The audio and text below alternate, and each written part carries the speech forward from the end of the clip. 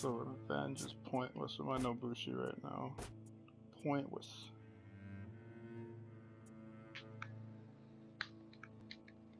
Dude, the smoke bomb, I don't like. I think it's dumb that it disables your lock too. If it didn't, now then I would use it more. But the fact that it Yeah, disables, that's ev- stupid. yeah, like if if it, you know, like it gives you that little bit of shield. Okay, cool, and it does like, but I mean, it's now if it let you lock on them, then it would be a whole different story, you know. But the fact that nobody can, it's like I get it, but I mean, it's just strictly then like for an escape tool, which I understand is a part of the game, but it, I I just think that wouldn't.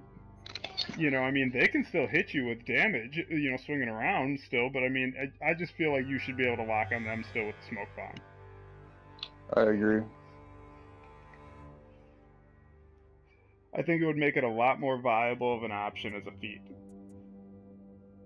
Yeah. Because right now, my Nobushi, I'm like trying to weigh it out with what I want to do. It's like, well, my, right now, my revenge is crap build, and it's a crap build in general right now. So it's like that smoke bomb or arrow strike. It's like I don't like that moderate arrow strike, but I'm just gonna take it because nothing else really is feasible right now. Right. Uh-huh. it's just like if they made that smoke bomb, you could keep locked on the enemies. Well, then it okay. Like now, it really has some value. Like some feats have value, some, nah, not so much.